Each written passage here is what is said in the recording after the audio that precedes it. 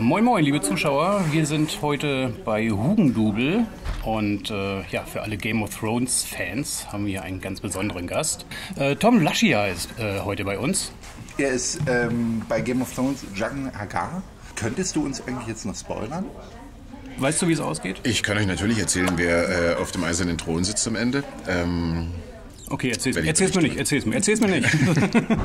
guckst du das jetzt so in Echtzeit wie wir alle oder guckst du es dir jetzt gar nicht mehr an? Oder naja, normalerweise. Äh, nee, also uns wird auch nichts gezeigt. Bei den anderen Staffeln habe ich es immer so gemacht, dass ich äh, gewartet habe, bis alle Folgen raus waren, habe das dann in einem, in einem Rutsch geguckt und jetzt funktioniert das aber, glaube ich, nicht so richtig, weil Du wirst ja überall gespoilert. Du, kannst, du musst ja auf Zehenspitzen du kannst durchs nicht, Netz Du kannst gehen. Nirgends hingehen, du kannst nicht mal irgendwie auf eine normale Nachrichtenseite gehen. Deswegen gucke ich jetzt auch brav jede Episode, wenn sie kommt.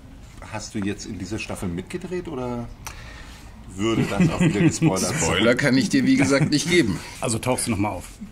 Wie kommt man zu so einer großen Produktion? Rufen die einen an oder ähm, bewirbt man sich? Ja, nee, also geschickt, selber bewerben, nee, selber bewerben kann man sich natürlich nicht. Wurde ganz normal gefragt von der englischen Casterin Nina Gold, äh, ob ich für speziell die Rolle ein Casting mache. Wie war die äh, Rollenausschreibung? Wir suchen einen sehr Die, die, nee, das ist dann in dem Fall immer sehr, sehr sparsam. Also die haben, die sagen da gar nichts dazu. Die schicken dir eine kurze Szene und ähm, wollen sich selber überraschen lassen. Also weil sie ganz oft gar nicht, selber auch gar nicht wissen, so genau wie sie es wollen. Also das Einzige, was ich wusste oder was vorgegeben war, er sollte einen Akzent haben, und das war jetzt kein Problem. ähm, und ähm, dass der, der, der Charakter irgendwie geheimnisvoll ist, das konnte ich aus dem Text entnehmen. Ansonsten stand da nicht viel dabei. Wusstest du, was das für ein großes Ding Nee. ist? Also ich hatte? Game of Thrones, das war ja für die Staffel 2 und die Staffel 1 war dann noch nicht gelaufen.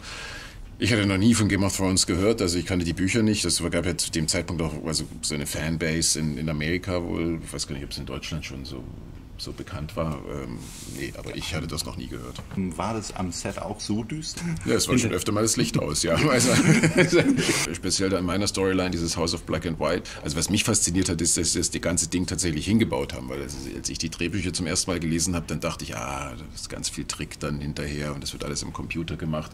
Aber die haben das tatsächlich eins zu eins hingebaut, also mit diesen Hunderten oder Tausenden äh, Masken, die da an den Wänden hingen. Und das war wirklich wie eine, wie eine Kirche, die da gebaut wurde. Du hast bestimmt geile Selfies gemacht, oder? Ist bei Todesstrafe verboten. Und hast du welche gemacht? Ist bei Todesstrafe verboten. Er hat welche gemacht, ich bin mir ganz sicher. Ja, und jetzt äh, liest du hier heute aus Game of Thrones. Ich dachte, ich lese aus einem anderen Buch. Ja, finde ich auch cool, ja? Das ist, hast du dich eigentlich selber synchronisiert?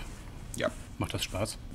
Ja, auch, äh, aber es ist eher so ein, äh, also ich finde, ich, ich will das unbedingt machen, weil wenn in meiner eigenen Sprache mich jemand anders synchronisiert, dann äh, kriege ich äh, gespaltene Persönlichkeit. Ja. Was gibt es jetzt noch für Projekte, die du vorhast? Ich habe letztes Jahr in der zweiten Staffel von Jack Ryan mitgespielt und dann drehe ich gerade die zweite Staffel von Das Boot. Die erste Staffel läuft seit November, glaube ich, ist auch sehr erfolgreich, in über 100 Länder verkauft. Sehr gut. Also Leute einschalten und vor allem Game of Thrones. Ein Mann liest gleich noch die Piste, würde ich sagen.